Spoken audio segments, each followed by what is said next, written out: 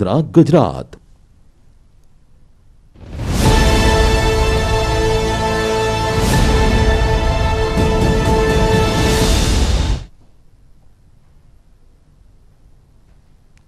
તો જીતનો જે જશ્ન છે ને, આ દ્રશ્યો આપ જોઈ રહ્યા છો. રોડ શો ને લઈને જે બસમાં સવાર થઈને ગુજરાત ટાઇટન્સના ખેલાડીઓ જઈ રહ્યા છે. તેમના પરિવાર સાથે તેઓ અહીંયાથી પસાર થઈ રહ્યા છે. ખુદ ટીમ ઇન્ડિયા કેપ્ટન રહી ચૂકેલા હાર્દિક પંડ્યા પણ જોવા મળી રહ્યા છે. અને સૌથી વધારે મહત્વની વાત કે જ્યારે ટીમ ઇન્ડિયા આયર્લેન્ડ સામે મેચ રમવા જશે, તો કેટલાક બીસીસીઆઈ ઓફિશિયલ્સનું એ પણ માનવું છે કે હાર્દિક પંડ્યા હોઈ શકે છે એ ટીમના કેપ્ટન. સાઉથ આફ્રિકા સામેની જે સિરીઝ રમાવા હવે જઈ રહી છે, દિલ્હીમાં સૌથી પહેલો મુકાબલો થશે. તેમાં પણ હાર્દિક પંડ્યા એક મહત્વનો રોલ ભજવતા જોવા મળશે. જે રીતના એઝ અ પ્લેયર તરીકે તેઓ ઉભરીને આવ્યા છે. ઘણા લોકોએ તેઓના એ વખાણ કર્યા કે એકસો ચાલીસ કિલોમીટર પ્રતિ કલાકની ઝડપે બોલ નાખવાની શરૂઆત હાર્દિક પંડ્યાએ કરી છે.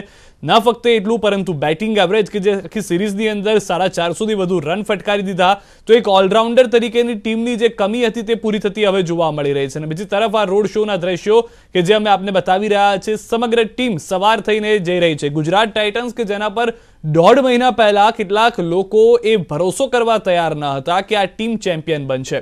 અને કેટલાક લોકો તે માટે સોશિયલ મીડિયામાં આ ગુજરાત ટાઇટન્સની ટીમને ઓગણીસો ઓગણીસો ને ત્ર્યાસીની ભારતીય ક્રિકેટ ટીમ સાથે કમ્પેર કરી રહ્યા હતા. ત્યારે પણ ભારતીય ઓગણીસો ને ત્ર્યાસીમાં જે ક્રિકેટ રમવા ગયા હતા. કપિલ દેવ કેપ્ટન હતા અને કોઈ એ માનવા તૈયાર ન હતું કે આ ભારતની ટીમ વર્લ્ડ કપ જીતશે. તો આવું જ કંઈક ગુજરાત ટાઇટન્સની ટીમ માટે થોડા સમય પહેલા કહેવામાં આવતું હતું. થોડા સમય પહેલા ગુજરાત ટાઇટન્સની એ ટીમ જોઈને કેટલાક લોકો કહેતા હતા કે શું આ ટીમ ચેમ્પિયન્સ બનશે? પરંતુ આજનો એ દિવસ છે ત્રીસ મે અને ગઈકાલે જે ઓગણત્રીસ મે કારનામા કરી બતાવ્યા છે, આ ગુજરાત ટાઇટન્સની ટીમ એ સ્પષ્ટ કરી રહ્યું છે કે કેટલો મહત્વનો આ દિવસ હશે ગુજરાતની એ જનતા માટે, ગુજરાત ટાઇટન્સની ટીમ માટે અને આ ફ્રેન્ચાઇઝ માટે. કારણ કે સૌથી પહેલી સિઝન હાર્દિક પંડ્યા કેપ્ટન બનાવવામાં આવ્યા. ત્યારે પણ કેટલાક લોકોએ વિચારી રહ્યા હતા કે હાર્દિક પંડ્યા કેપ્ટન તરીકે શું સફળ રહેશે. પરંતુ તેઓનો ફાઇનલમાં ન હારવાનો રેકોર્ડ પણ ગઈકાલે લોકોએ જોઈ લીધો. પાંચ વખત હાર્દિક પંડ્યા જે પ્લેયર તરીકે રમ્યા અને તમામ વખતે તેઓ જીત્યા. એક વખત કપ્તાન તરીકે ફાઇનલ રમ્યા અને તેમાં પણ તેઓને જીત મળી.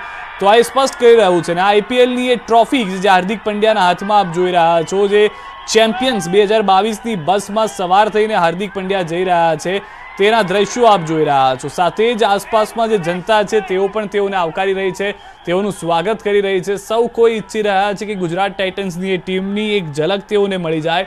કે જેમાં ડેવિડ મિલર જેવા એ બેટ્સમેન અને ઓલરાઉન્ડર જોવા મળ્યા હતા. કારણ કે સૌ કોઈ ડેવિડ મિલરની પસંદગીને લઈને પણ સવાલ ઊભા કરી રહ્યા હતા. ચાર પાંચ વર્ષમાં તેઓનું એ પરફોર્મન્સ ન હતું.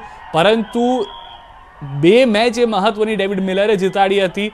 જ્યારે અંદાજિત નવ કરોડ રૂપિયાની રકમની અંદર રાહુલ તિવેટિયાને ખરીદવામાં આવ્યા હતા. ગુજરાત ટાઇટન્સની ટીમમાં સામેલ કરવામાં આવ્યા. ત્યારે પણ લોકોએ કહ્યું કે ઓવર પ્રાઇસ પ્લેયર છે. પરંતુ પંજાબ કિંગ્સ સામેની એ મેચ સૌ કોઈને યાદ હશે કે છેલ્લા બે બોલમાં બે સિક્સર ફટકારી અને ગુજરાતની ટીમ જીતમાં આગળ વધી, વધતી જોવા મળી હતી.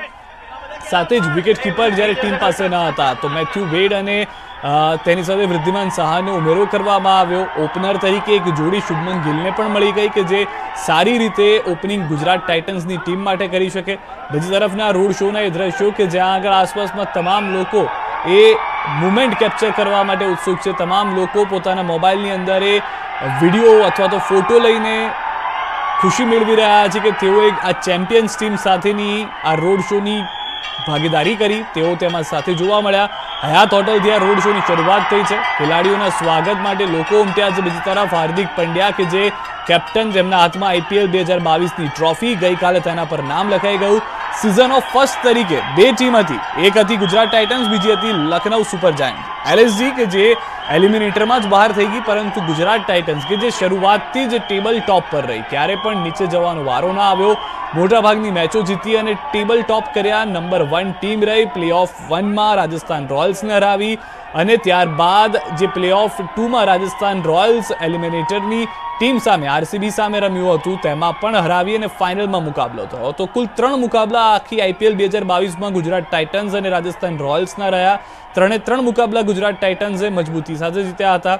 સૌથી વધારે મહત્વની વાત એ પણ રહી કે ગુજરાતની ટીમ ગુજરાતની ભૂમિ ઉપર નરેન્દ્ર મોદી સ્ટેડિયમમાં આ મેચ હતી અને તેમાં તેઓને જીત મળી. પ્લેઓફ તેઓને રમવાનો મોકો ગુજરાતને ના મળ્યો, ગુજરાતમાં જ, કારણ કે તેઓ કોલકાતામાં પ્લેઓફ વન રમ્યા હતા. પરંતુ જ્યારે તેઓ ફાઇનલ રમવા આવતા ગુજરાત ટાઇટન્સની ટીમ હોય, નરેન્દ્ર મોદી સ્ટેડિયમ હોય, ગુજરાતી લોકો ત્યાં ઉપસ્થિત હોય અને જે વર્લ્ડ રેકોર્ડ થયો હોય, એક લાખ ચાર હજાર જેટલા લોકોનો અને તે લાખ લોકોની સામે આ મેચ રમવાનો મોકો મળ્યો તો સૌ કોઈ કહી રહ્યું હતું કે જે ઉત્સાહ હતો તે ઉત્સાહ અકલ્પનીય અને વર્ણવી ન શકાય તેવો હતો. બીજી તરફના આ દ્રશ્યો કે જ્યાં બ્રિજ ઉપર પણ લોકો ઉપસ્થિત છે, બ્રિજ ઉપરથી પણ લોકો આ ટીમને નિહાળવા માટે પહોંચ્યા છે.